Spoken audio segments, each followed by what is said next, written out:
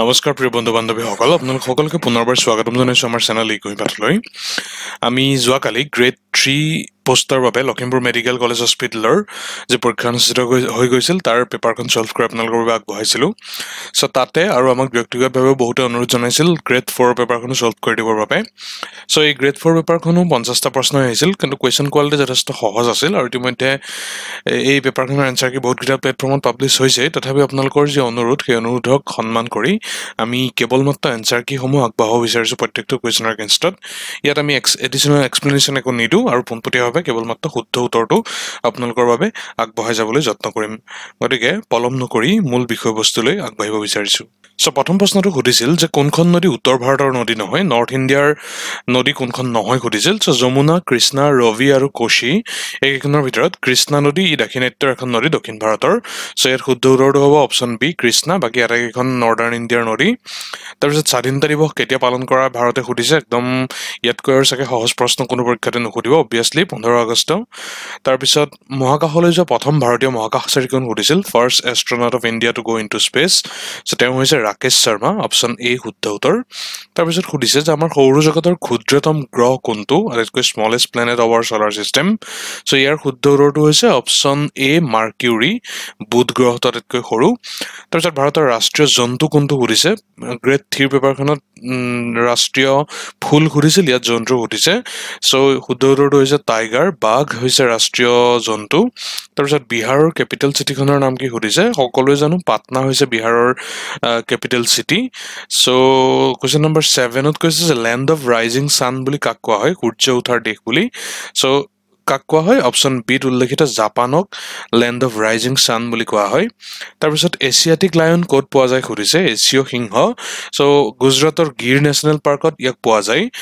খুব এটা ফেমাছ এডভাৰটাইজমেণ্টো আছে অমিতাভ বচ্চন ফিচাৰ হোৱা এইটোক লৈ। তাৰপিছত ৰামায়ণ কোনে লিখিছিল সুধিছে? ৰামায়ণ কোনে লিখিছিল? সকলোৱে জানো আমি বাল্মীকিৰ ৰামায়ণ বুলি আমি কৈ থাকোঁ। নেক্সট বিখ্যাত চিত্ৰ মনালিচা কোনে অংকন কৰি উলিয়াইছিল সুধিছে।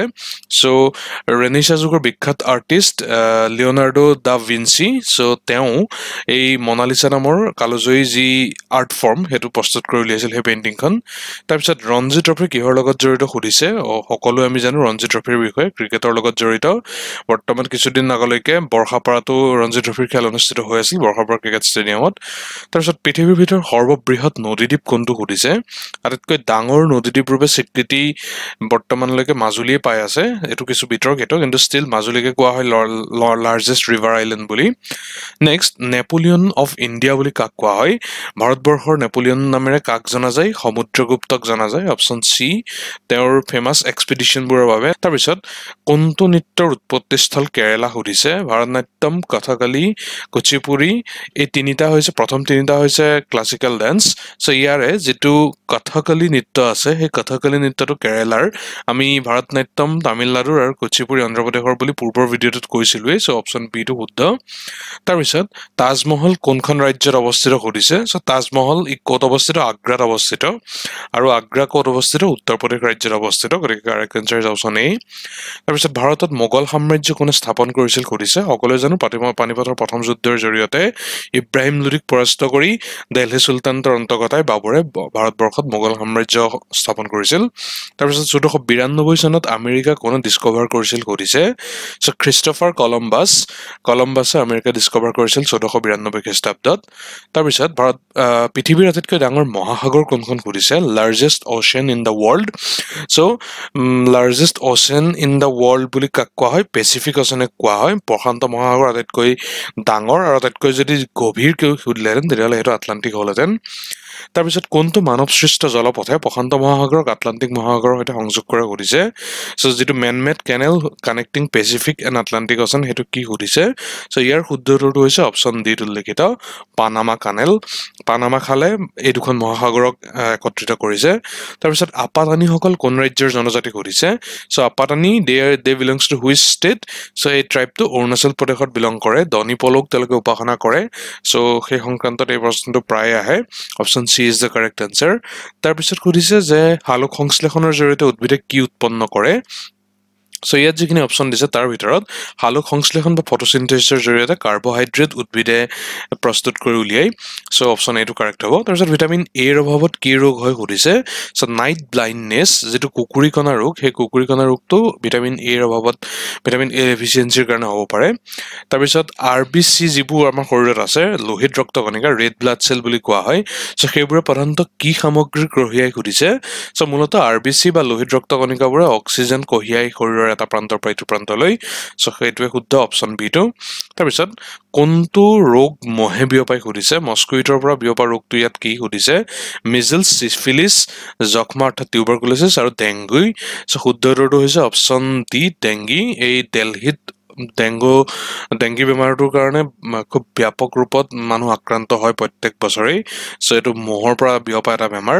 তাৰপিছত ক'ভিড নাইণ্টিনটো কিহৰ পৰা সৃষ্টি হৈছিল সুধিছে? SARS covid two so' SARS CoV two option B যিটো উল্লেখ আছে তাৰ পৰা ক'ভিড নাইণ্টিন বেমাৰটোৰ সৃষ্টি হৈছিল।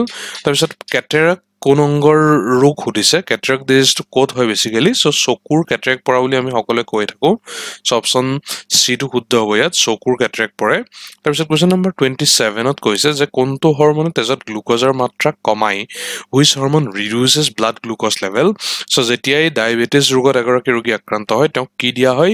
ইনচুলিন দিয়া হয়। চ' অপশ্যন এটো ইয়াত শুদ্ধ হ'ব insulin is the correct answer তাৰপিছত কোনটো ৰোগৰ প্ৰতিষেধক ৰূপে বি চি জি ভেকচিন দিয়া হয় সুধিছে। চ' ইয়াত যিটো টিউবাৰকুলোচিছ বা যক্ষ্মা ৰোগ উল্লেখ আছে সেইটোৰ প্ৰতিষেধক ৰূপে এই বিশেষ ভেকচিনবিধ প্ৰদান কৰা হয়। So' B C G vaccine tuberculosis তাৰপিছত কোনটোত পাচক ৰস নাথাকে সুধিছে ডাইজেষ্টিভ এনজাইম কোনটোত নাথাকে গেষ্ট্ৰিক জুইচ চেলাইভা অগ্নাশয় ৰস আৰু পিত্ত। চ' এইকেইটাৰ ভিতৰত ক'ত নাথাকে? বাইল অপশ্যনটো শুদ্ধ পিত্ত অপশ্যন ডি চ' তাত পাচক ৰস নাথাকে so' that is the correct option তাৰপিছত হৃদপিণ্ডত কেইটা নিলয় বা ভেন্ট্ৰিকল থাকে সুধিছে। হিউমেন হাৰ্টত কেইটা ভেন্ট্ৰিকল থাকে? শুদ্ধ উত্তৰটো হৈছে অপশ্যন ডি চাৰিটা ভেন্ট্ৰিকল থাকে। তাৰপিছত চিননিম অফ ইলংগেট কি সুধিছে? এইকেইটা ইংলিছ প্ৰশ্ন। চ' ইলংগেট মানে দীঘল কৰি দিয়া। চ' গতিকে তাৰ চিননিম কি সুধিছে? চ' সেইটো হ'ব অপশ্যন বি লেংথেন চ' দীঘলীয়া কৰি দিয়া। সেইটো হৈছে অপশ্যন বি তাৰপিছত এণ্টনিম অফ আৰ্টিফিচিয়েল কৃত্ৰিমৰ অপজিটটো সুধিছে। চ' কৃত্ৰিমৰ অপজিটটো হ'ব ৰিয়েল জেনুইন চ' অপশ্যন ইয়াত ডিটো কাৰেক্ট হ'ব। তাৰপিছত এটা ইংলিছ প্ৰভাৰ্ব দিছে সেইটো ফিল আপ কৰিব দিছে ব্লেংকটো so' better dash than never so' better late than never option ডিটো ইয়াত শুদ্ধ হ'ব। কেতিয়াও নকৰাতকৈ পলমকৈ হ'লেও কিবা এটা ভাল কাম কৰাটো ভাল। তাৰপিছত what is the opposite gender of vixen so' ভিকশ্যনৰ বিপৰীত লিংগটো কি সুধিছে? চ' বেচিকেলি ফক্স হৈছে ভিকশ্যনৰ অপজিট জেণ্ডাৰ চ' অপশ্যন এটো শুদ্ধ হ'ব। তাৰপিছত ফৰ গেটৰ পাষ্ট টেন্স কি সুধিছে? চ' ফৰ গেটৰ ফাষ্ট টেন্স হৈছে ফৰ গট অপশ্যন চিটো শুদ্ধ। তাৰপিছত এই চেণ্টেন্সটো কমপ্লিট কৰিব দিছে ফিল ইন দ্য ব্লেংকছৰ জৰিয়তে। She is sitting dash the rock so' she is sitting on the rock শিলটোৰ ওপৰত বহি আছে তাই। চ' অপশ্যন ডিটো শুদ্ধ হ'ব আমাৰ বিবেচনাত। তাৰপিছত what is a group of cows called গৰুৰ এটা গ্ৰুপক কি বুলি কোৱা হয়? এইটো কালেক্টিভ নাউনৰ প্ৰশ্ন। পূৰ্বৰ পেপাৰখনটো আহিছে গ্ৰেড গ্ৰেড থ্ৰীৰ চ' ইয়াত শুদ্ধ উত্তৰটো হ'ব অপশ্যন চি হাৰ্ড এই হাৰ্ড অফ কাউজ তাৰপিছত কুৱেশ্যন নম্বৰ থাৰ্টি এইটত কৈছে পাৰ্চন হু মেনছ চুজ চ' জোতা নিৰ্মাণ কৰা ব্যক্তিক কি বুলি কোৱা হয় সুধিছে। চ' শুদ্ধ উত্তৰটো হৈছে অবভিয়াছলি অপশ্যন বি কবলাৰ। তাৰপিছত কুৱেশ্যন নম্বৰ থাৰ্টি নাইনত কৈছে the Pacific is dash ocean in the world so' এইটো এ হ'ব পেচিফিক ইজ চৰি এইটো এন হ'ব Pacific is an ocean of the world এখন অ'চিয়ান সুধিছে। চ' দা এইটো স্পষ্ট হ'লেহে দা হয়।